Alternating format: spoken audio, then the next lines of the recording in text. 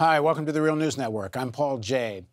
With the development of this concept of a Green New Deal, and it's much more attention being paid to it now that it's being talked about in the halls of Congress, especially people like Alexandria Ocasio Cortez, the question of how to pay for a Green New Deal has become to the fore.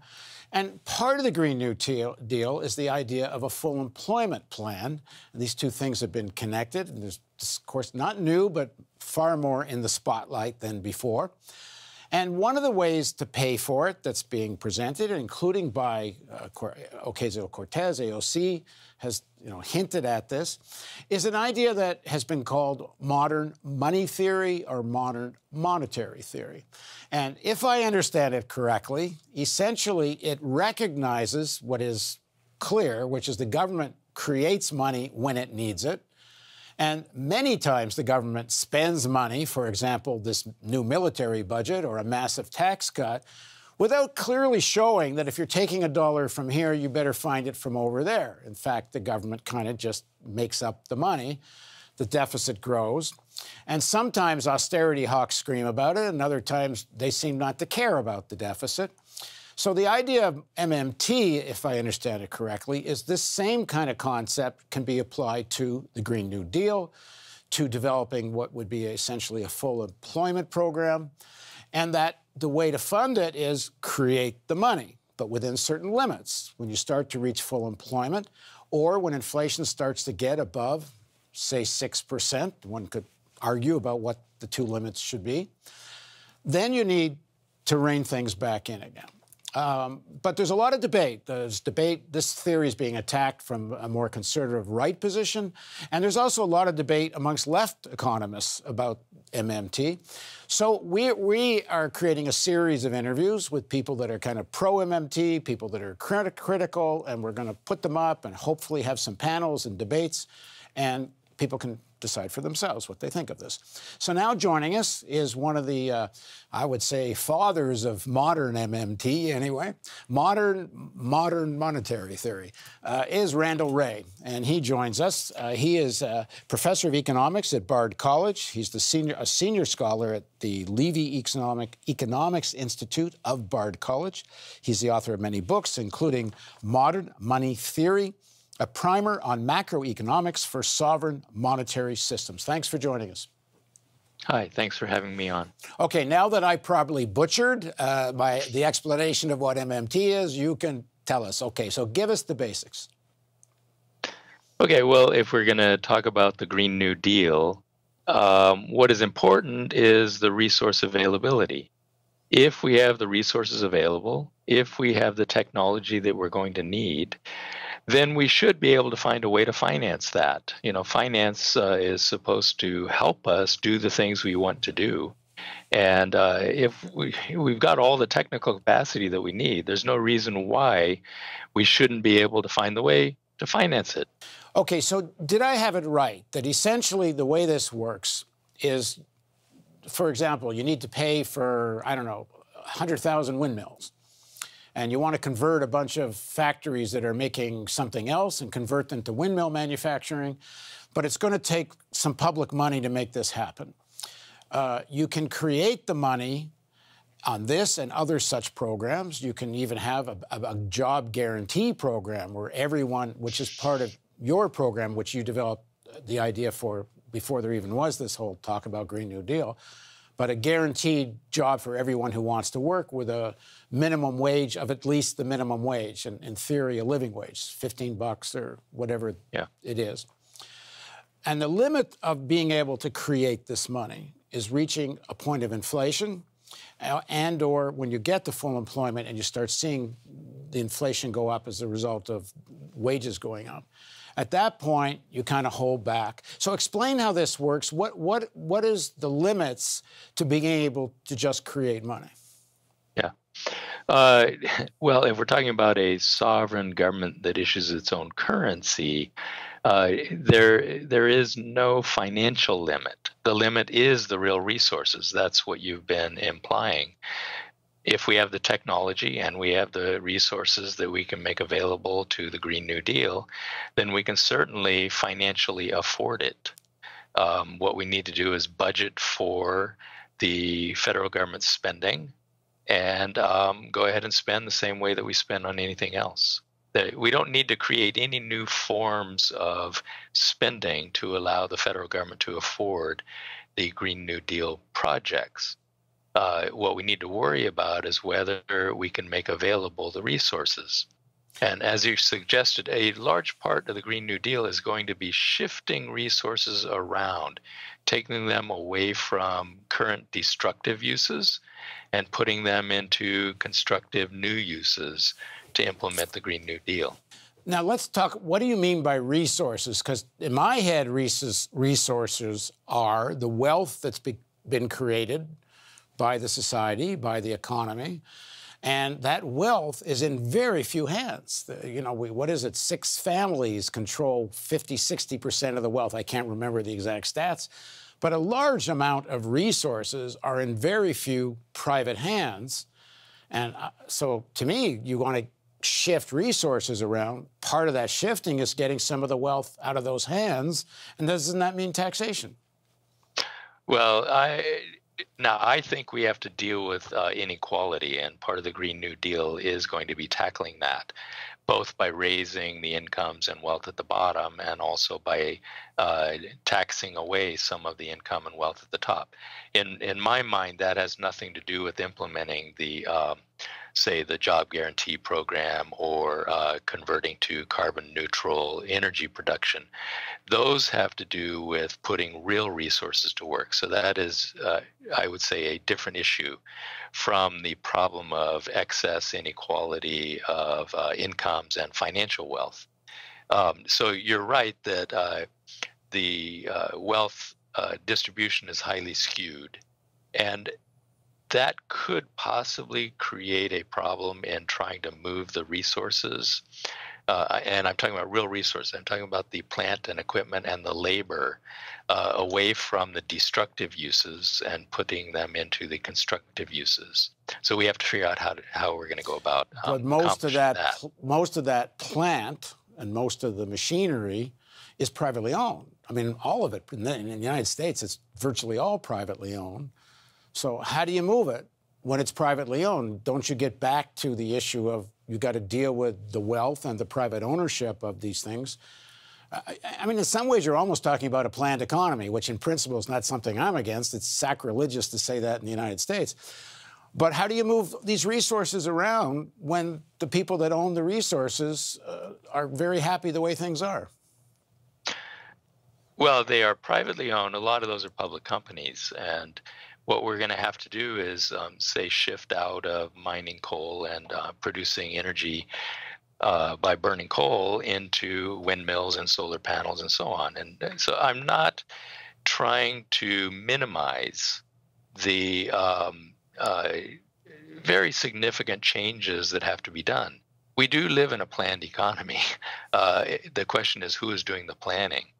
Uh, right now, it's being done by megacorps and by the the financial institutions that uh, provide the finance to them, and it is going to require more planning, I think, at the uh, government level than what we have been doing for the past 30 or 40 years. It'll be, I would say, more equivalent to what we did in the early post-war period, um, eh, but all, you know where the federal government played a pretty big role in. Um, the uh, in sort of private planning, cooperating with the the big corporations, uh, and also with what we did in World War II.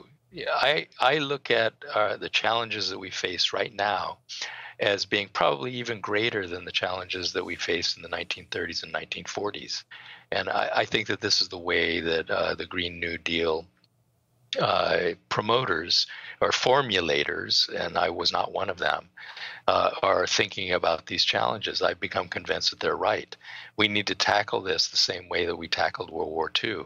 It is going to take a massive effort and a and cooperative effort among the government, uh, labor unions, uh, as so far as they still exist, uh, and uh, private corporations. Um, it's going to require planning. We can't we can't re, uh, rely on an invisible hand to solve this tremendous climate problem that we have, in addition to other problems, including inequality and so on.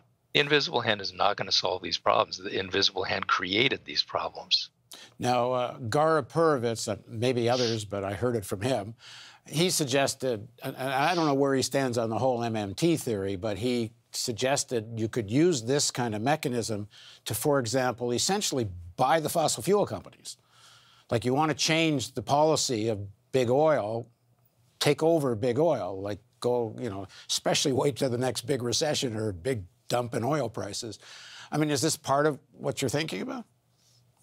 Carbon taxes could be part of the solution, but I'm not convinced that you can rely on a market mechanism like uh, taxes uh, to solve a problem created by the markets. We're going to need other mechanisms to completely eliminate uh, the use of fossil fuels. That has to be a goal. Well, do you see that as as one of those mechanisms that you essentially using MMT theory create the money to take over sectors of the fossil fuel industry, for example, like essentially nationalize. So you buy the shares or uh, in some form.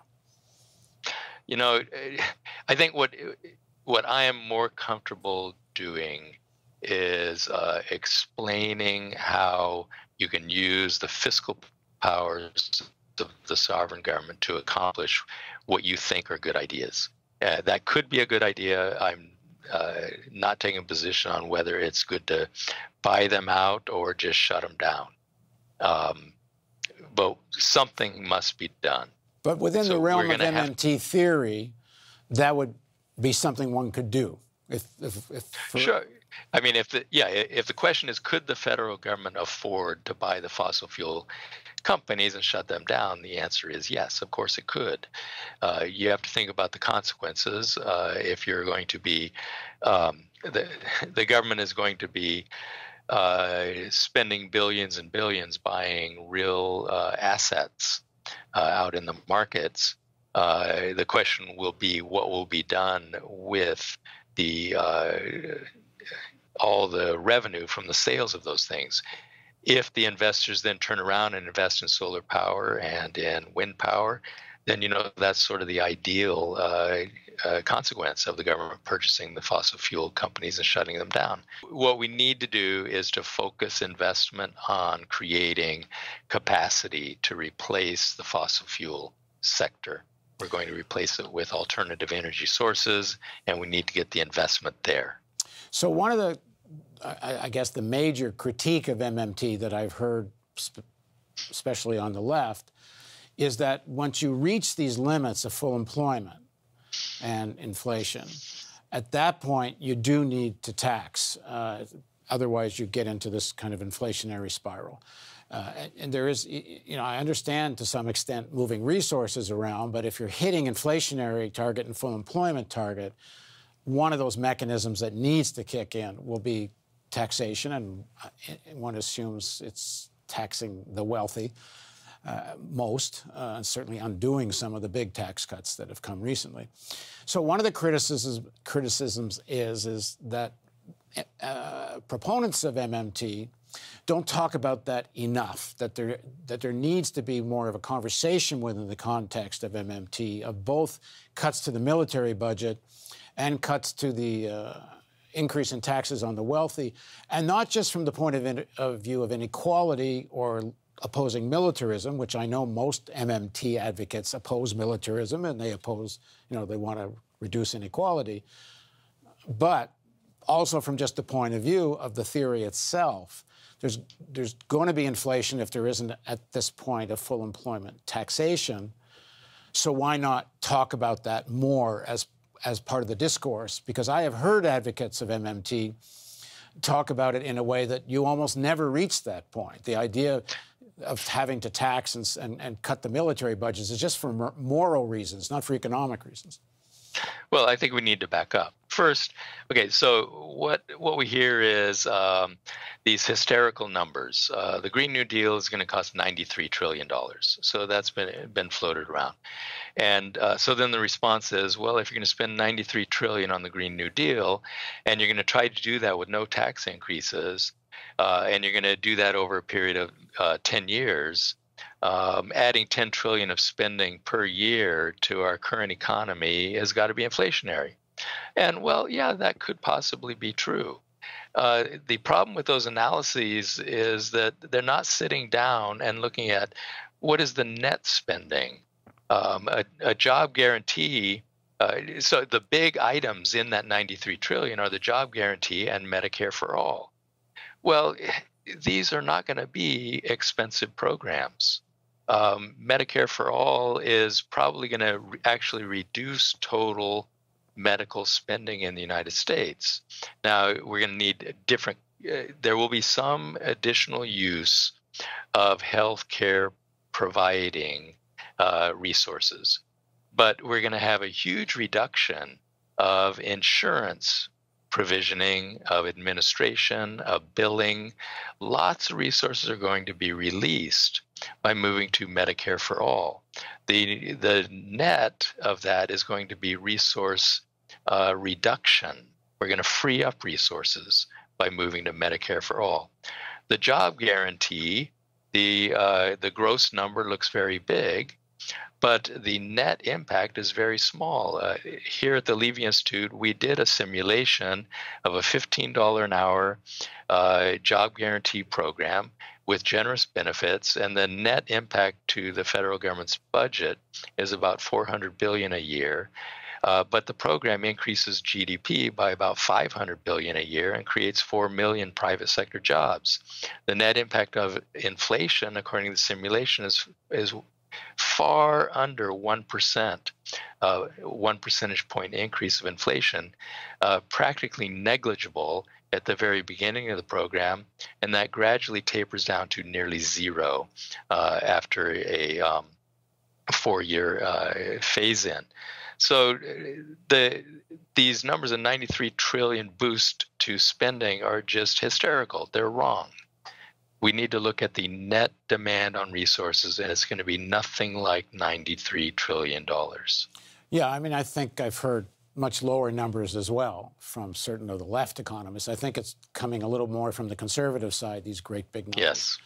Yes. Uh, but we're somewhere, uh, it depends how you define full employment, but somewhere around 4%, uh, we're, which we're kind of at now. One could argue, is that a real 4% now? So even if one argued, you know, in terms of real labor participation rates and other such, maybe it's actually really higher. But it wouldn't take that much more spending to get to quote unquote full employment if we're already at four or maybe even under four. So if you're already at a point where you're close to this tipping point where it might become inflationary, and you now you want to spend a whack more money, on a new green infrastructure program. Doesn't that require taxation sooner than later? Uh, at this point, I would say I'm still uncertain that we will need a tax increase. Uh, so the way that we're going to get uh, to full employment is through the job guarantee. The job guarantee only hires unemployed people. Um, and so that by itself is not inflationary you are uh, creating the jobs for people who currently don't have jobs. We estimate that that will be about 15 million people. Now, those people are available to work in Green New Deal projects. They're not going to be doing the major infrastructure kinds of projects that require skills, probably union labor and all that. Uh, but they can do a lot of the jobs that are being talked about as part of the Green New Deal, very broadly defined, including caregiving and um, service to the communities, environmental services. The so employing those people, we are mobilizing resources that are not now being used and putting them to use in the Green New Deal. Uh, there will be um, shifting of resources, as we were talking about before, from destructive use to constructive use. Again, that isn't increasing uh, employment. Uh, that is just shifting the employment. Some of that, some of those workers are going to have to be retrained for the new jobs. So I realize that we will have to devote more resources to education and training. Um, and the, I do think there will be a net increase in the use of resources. We need to try to get a handle on that as we phase in Green New Deal uh, programs. We'll have a better idea of how many new um, resources are going to be employed. And it could be that we realize that aggregate demand is is uh, outpacing our capacity to produce, and we will need some tax increases. Uh, we may need to employ some of the other methods that were used during World War II. Our yeah, first including major, price controls, including price controls, including rationing. As I said, we should think of this as something equivalent to uh, World War II. Uh, we we will probably need a range of methods of uh, tackling uh, price increases. Okay, well, this is just the beginning of a conversation. Um, what we're going to do is we're going to go back and forth a little bit. Uh, we interviewed uh, Jerry Epstein, who's a critic of MMT. Uh, we're going to show Jerry's interview to Randall. We're going to show Randall's interview to Jerry. We're going to get them to respond to each other. I hope we can get some panels together with pro and cons. And, and, as I said to Randall off camera in the beginning, I actually think there's far more agreement all, about all this than there is disagreement. But We'll, we'll, try to figure this out. So, Randall, thanks for joining us. I hope you'll come back and, and we'll dig into this deeper. But also, uh, underneath the video, if you're on our website or on YouTube, uh, ask your own comments and questions about this, and, and I'll raise them with Randall, and we can interview some of the other people involved in MMT School of Thought and others, and critics. Uh, so we want to just start a conversation here about what this, you know, how this new funding is going to happen. Because uh, clearly, for a Green New Deal to transition off of fossil fuels, is going to be a real restructuring of the economy.